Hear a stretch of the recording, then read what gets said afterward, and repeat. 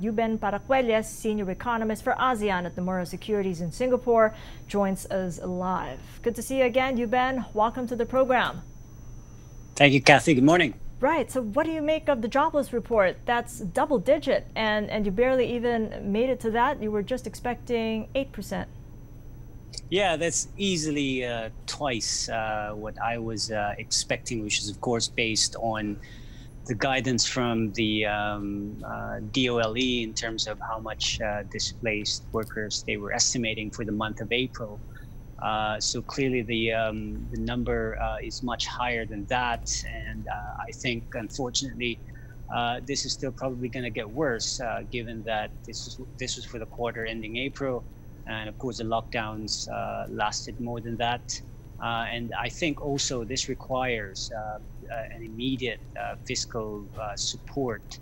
that needs to be passed, particularly to try and stem the rise in unemployment. So you're, you're expecting it to probably get worse. Uh, what sort of numbers are we looking down the line in the month of May and June? I mean, it's probably hard to uh, make a, a, good estimate at this point, given how uncertain things are.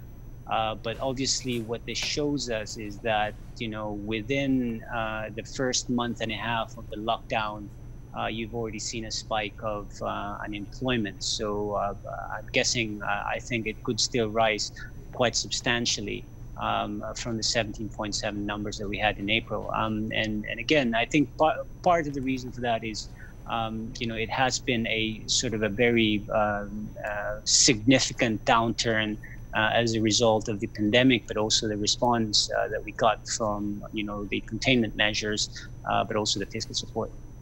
So they they fell short in in terms of providing that response. Reason why we have this many number of job losses. Yeah, I mean, if uh, if you look at um, what other countries have done in terms of measures on job preservation, uh, wage subsidies, and really helping you know daily wa- wage uh, workers and also the informal sector, I think, uh, by my estimates, given well, what they've announced and what they should have done, I think it's probably less than half uh, uh, compared to the actual spending so far. So I think there is quite a bit of an urgent need uh, to really push um, uh, fiscal measures um, uh, fairly quickly. In a sizable way. Um, again, this is just kind of validating that um, view that uh, you know the employment uh, collapse has been uh, pretty significant, uh, and therefore there is quite a bit of assistance that's needed for for those that have lost their jobs. So, how much more on on top of what's now being deliberated in Congress? Uh, now that we know the extent of the impact on the jobs numbers alone. Yeah, so I think the um, the, the 1.3 trillion stimulus that is being proposed in, in, in the lower house of Congress uh, I think that's quite substantial. Um, so that's uh, six and a half percent of GDP. Uh, around half of that is probably going to spend within this year, uh, which would be uh, what I think would be in line with um, what I've estimated so far in terms of not just covering, uh, you know, healthcare spending to try and contain the virus, but again, more importantly, to kind of look after the vulnerable sectors um, that has been affected uh, by the pandemic. So um, I think three, three to four percent of GDP within the year um, could be substantial. And in terms of debt to GDP ratio, I mean, at, at one point, would you say that that would be quite a concern given that much needs to be more spent on fiscal measures to, to save the economy and, and get those jobs back? Um, I think the, the Philippines uh, uh, has quite a bit of fiscal space, as the authorities have been have been saying. Uh, so debt to GDP at around 40% uh, uh, compares favorably across uh, uh, the region and, and, similarly rated peers. So I, I, don't think there's an issue if debt to GDP goes to 50% or even higher. I think um, everybody, I mean, most other country that's go, has been going through this is experiencing a pickup in in in, in debt levels. Uh, I think what's important is really to try and, and, and stem the contraction uh, in the economy and save jobs uh, to try and limit the permanent damage. Because if, if that's not prevented, I think the recovery would take longer, uh, then debt sustainability will become an issue. On the flip side, uh, inflation remaining benign. You forecast inflation at 1.8%. The actual figure came in at 2.1%, uh, still within the government's target range of between 1.9 and 2.7%. How much leeway is that going to give the Philippine Central Bank to make a policy move earlier than forecast? Oh, I think uh, from an inflation targeting framework, it's quite clear that uh, BSP uh, has the policy policy space and also the justification to actually uh, continue with policy easing and, and cutting rates further. Um, I think you know at, um, at uh, the two to four percent target, we are now at the lower bound, and uh, in the next few months, given what we saw in the unemployment rate and what that implies for the economic contraction, um, I think that means core inflation is going to be lower, and therefore that's going to bring down headline. I think probably below the two percent number. Uh, uh, the lower end of the range uh, for the next few months. And, and to me, again, that justifies the BSP um, taking more policy easing action sooner rather than later, I think. How soon? Is it going to be intermeeting? The next Monetary Policy Board meeting is on June 25th.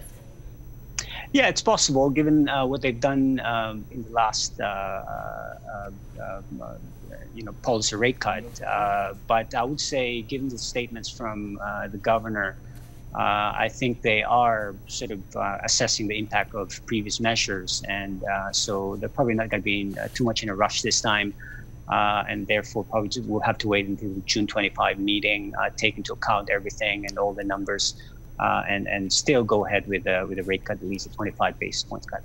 Just a final point. Uh, was looking through your latest report. It flagged the risk of a worsening and a more prolonged outbreak, uh, citing the still rising uh, new daily COVID-19 cases. As as you can see on that chart, that the red line has just uh, gone up and higher than other ASEAN nations. What is the science in your concern when you compare what's taking place in Malaysia and Thailand?